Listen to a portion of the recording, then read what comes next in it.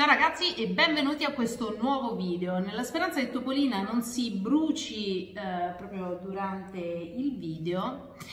eh, oggi vi voglio parlare finalmente di corsa, di scarpe e di come ho cambiato le mie scarpe dopo circa 700 km. Non andrebbe fatto. Allora, per chi di voi mi segue già sa che da luglio io e Marco abbiamo iniziato a correre, allora già prima ovviamente correvamo un po' nel senso che eh, durante i workout a livello così eh, ludico, tra virgolette, ogni tanto andavamo a corricchiare, topolina, ma eh, niente di impegnativo, mentre invece da luglio ci siamo messi a correre come forma di allenamento, ok? Quindi come, come sport. Questo cosa vuol dire? Non necessariamente gareggiare, non necessariamente fare chissà che tempi o numeri, ma correre con una certa frequenza, monitorare, diciamo, quello che può essere la velocità, quello che può essere il miglioramento appunto delle varie, delle varie tempi, la velocità, insomma tutte queste cose qua e eh, quindi fondamentalmente ci siamo appassionati, io personalmente nonostante abbia corso eh, anche in passato è la prima volta che lo faccio appunto con regolarità e in questo, in questo modo qui. Allora che cosa è successo? Che io ho iniziato a correre con delle scarpe un po' vecchiotte che avevo preso sempre per la corsa ma non vi so dire quanti anni fa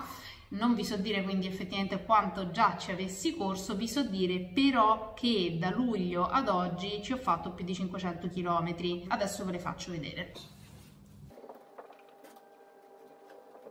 Bene, le scarpe con cui ho corso fino ad oggi sono queste Saucony che ormai vantano un discreto numero di anni. Come potete vedere iniziano ad essere un po' consumate, si vede da qua soprattutto, perché si vede la parte di gomma che sta sotto il primo strato.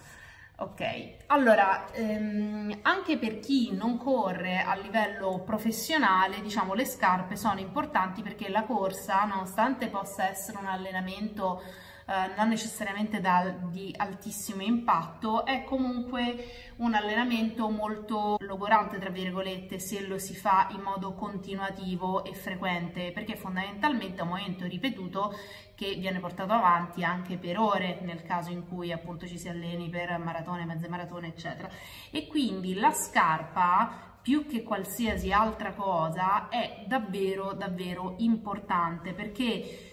Nonostante magari non ci possiamo far caso all'inizio, con il tempo si possono arrivare ad avere dei problemini, problemini alle articolazioni, problemini insomma di qualsiasi genere, l'appoggio del piede, l'ammortizzazione, quindi non solo a livello performativo,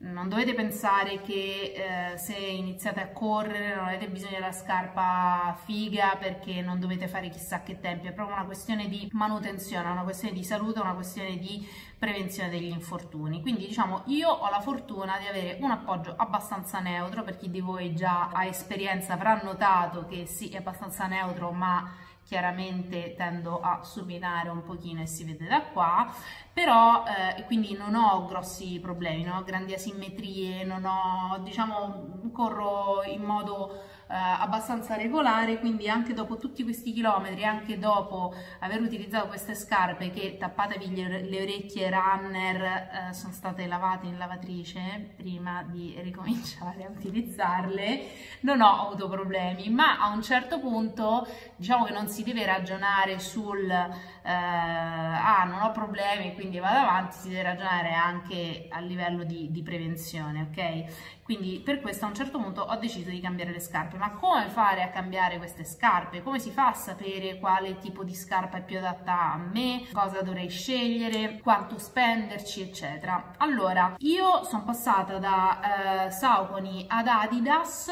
Um, premetto questo video non è sponsorizzato da nessuno, non è in collaborazione con nessuno. Quindi tutto quello che vi dico è semplicemente eh, insomma la, la, mia esperienza. Quindi fondamentalmente che cosa ho fatto? Ho iniziato a cercare online, anzi prima eh, sono andata in un paio di negozi, eh, non mi sono trovata bene. Lasciamo stare le cose negative, passiamo alle cose positive, quindi sono andata in quello che è il mondo dove eh, meglio mi muovo, ovvero il mondo online. Quindi ho cercato una, uh, un sito, un portale, un, appunto, un posto dove io potessi attraverso i dati inseriti trovare il tipo di scarpa adatta a me e l'ho trovato in mrrunning.com. mrrunning.com è un sito molto interessante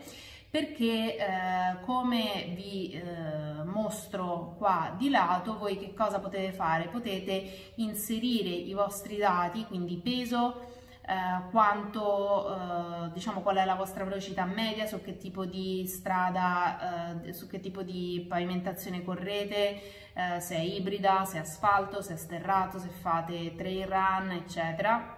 Insomma, tutta una serie di caratteristiche per poter scegliere eh, le scarpe adatte a voi. Ora, eh, diciamo che più si è, non dico esperti, però insomma, eh, più si, si, conoscono le proprie caratteristiche tecniche, più facile è. Nel senso che, eh, per esempio, una persona che vuole iniziare a correre magari non sa se tende a pronare o a supinare, magari non sa nemmeno che vuol dire pronare e supinare, quindi in questo caso per esempio è molto interessante perché loro hanno anche la possibilità di fare un test online, quindi inviando un video sul tapirulan saranno loro a individuare le caratteristiche tecniche che voi non eh, conoscete proprio di voi stessi. Saranno loro a indirizzarvi, mentre invece se più o meno già avete un'idea, io per esempio so di avere un appoggio abbastanza neutro, leggermente supinatore. So già qual è la mia eh, corsa standard media, quindi per quanti chilometri corro in media, quanto veloce vado, eccetera. Quindi sono tutte caratteristiche che ho potuto inserire all'interno della, della ricerca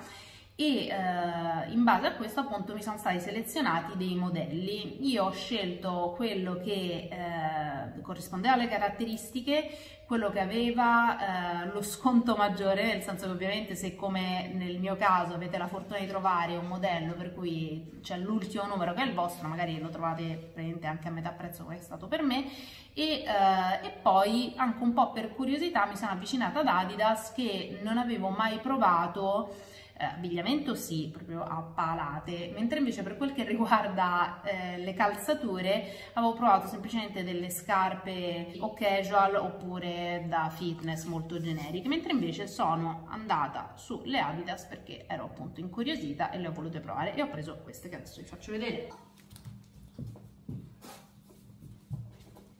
Allora, queste sono le scarpe che ho scelto e eh, il numero, per esempio, è anche una cosa importante sul quale troverete delle indicazioni. Il numero da scegliere dipende un po' dalla marca, un po' dal fatto che quindi alcune marche calzano più precise, altre calzano più strette, più larghe, eccetera. In più bisogna considerare che nella corsa ci sono dei fattori da tenere ehm, da tenere in considerazione appunto. Questi fattori sono per esempio il fatto che il piede si possa, se facciamo lunghi tragitti, il piede si può gonfiare, se andiamo a correre la sera la condizione del piede sarà diversa rispetto alla mattina, dipende il calzino che utilizziamo, insomma dipende da un po' di cose e tendenzialmente è quasi sempre meglio prendere un mezzo numero in più quando non addirittura un numero in più. Io personalmente queste le ho prese del mio numero perché sul sito Adidas ho letto che le Solar Boost, quindi questo modello qui, calzano praticamente in modo analogo rispetto alle calzature normali. Avevo il dubbio nel senso che loro stessi ti dicono che puoi scegliere se hai il dubbio tra due numeri un po' più piccolo o un po' più grande, dipende un po' dal, dalla tua sensazione di, di, di, fit, diciamo, quindi se le preferisci un po' più aderenti o un po' più eh, larghe.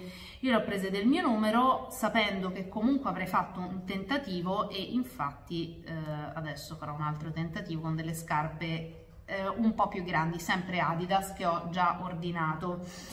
eh, dipende anche secondo me molto da quanto ci corriamo, nel senso che le sensazioni che noi abbiamo sui 5 km sono molto diverse dalle sensazioni che abbiamo su una mezza maratona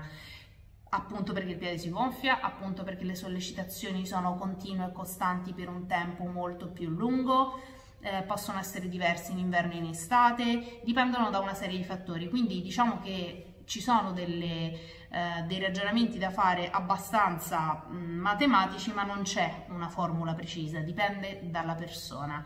Quindi io per ora ho scelto queste, sono già andata a correrci, ci ho fatto delle, dei tragetti medio brevi, quindi ho fatto la prima volta 5 km mi sembra, poi ne ho fatti 15, poi ne ho fatti 8 diciamo e non ho avuto problemi. Quindi posso dire che, eh, di aver azzeccato il numero tra virgolette ma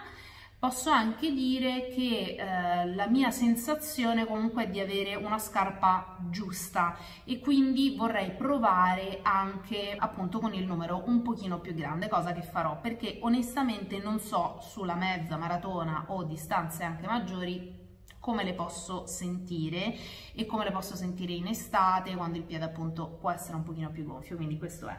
Quindi riassumendo, che cosa vi voglio dire con questo video? Uno, se decidete di iniziare a correre o avete già iniziato a correre, occhio alle scarpe perché è una cosa molto importante. Io l'ho presa un po' sotto gamba inizialmente mm, perché so appunto, cioè, comunque mi alleno da mille anni, conosco bene il mio corpo, eccetera, conosco bene l'appoggio, quindi nonostante per me la corsa sia uno sport relativamente nuovo, proprio come, come sport, come allenamento costante, comunque diciamo che mh, sono abbastanza consapevole e quindi eh, appunto avendo un appoggio più o meno neutro, un peso, cioè essendo allenata, eccetera, ok, sono andata un po' avanti con questa, nonostante i miei amici runner mi abbiano cazziata giustamente varie volte, però a un certo punto, nonostante comunque stessi andando bene, ho deciso di cambiarle. Sono andata sul sito mrrunning.com, vi,